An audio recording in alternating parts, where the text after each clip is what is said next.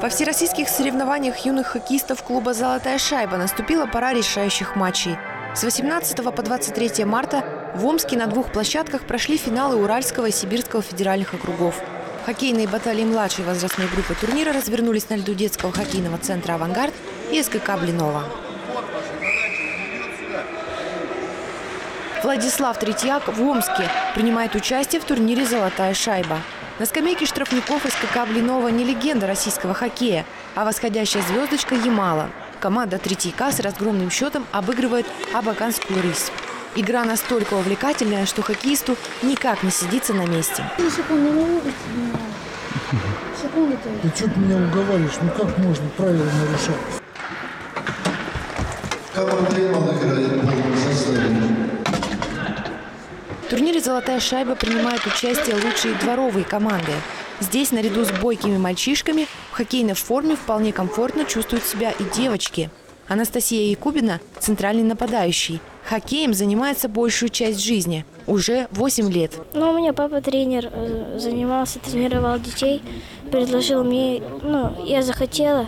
Сначала ну, отказывалась, потренировалась чуть-чуть, мне очень понравилось, я стала заниматься дальше. Важные игры, можно чему-то научиться, э, и будешь как бы опытнее. Старшему поколению, ветеранам спорта, приятно наблюдать за тем, как развивается хоккей любительский, а многолетние традиции поддерживаются. Ведь богатая, почти полувековая история турнира помнит случаи, когда благодаря «золотой шайбе» зажигались звезды профессионального хоккея. Ребят, как бы, если они пришли, любят заниматься хоккеем, пришли в хоккей, э, есть у них желание заниматься, не надо их лишать этой радости. Всего за выход в финал всероссийских соревнований боролись 13 дворовых команд Сибири и Урала. Дружины очень разные и по степени подготовленности в том числе. Отсюда и результаты 19-0, 11-3. Но итоговый счет для юных хоккеистов не самое главное, считают родители. Наши ребятишки набираются опыта. Самое главное. Тем более в нашем городе нет таких больших катков. Мы играем в дворовой команде. И поэтому для нас это очень главное такое вот событие для ребятишек. Они очень боятся, вот по игре как бы видно, но мы стараемся их вывозить.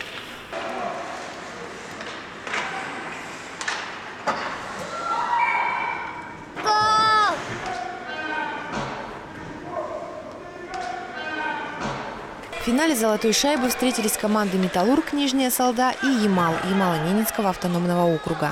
Обе команды за весь турнир ни разу не потерпели поражений. Интрига о победителе сохранялась до последней минуты игры. На первый перерыв команда «Металлург» ушла в качестве фаворита. Счет 4-1. За второй отрезок финального матча хоккеистам Ямала удалось сравнять счет.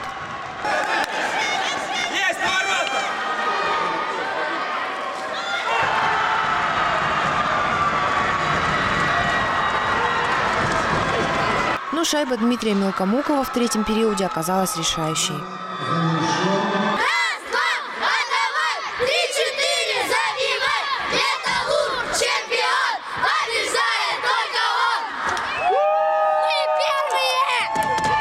Так хоккеисты из Нижней Салды вышли в финал всероссийских соревнований в младшей возрастной группе.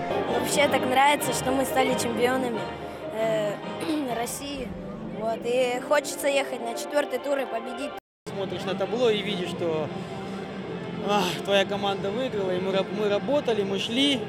Сказать честно, мы не думали, что так оно все сложится. Ехали, да, на хороший хоккей, на хороший турнир. Ну, хорошо повезло, все сложилось. Ну, опять же, везет сильнейшим. Мы старались очень. Это значит, вы играли. Лучший капитан в мире. Молодцы. Поздравляю. Разворачивайтесь, Thank you.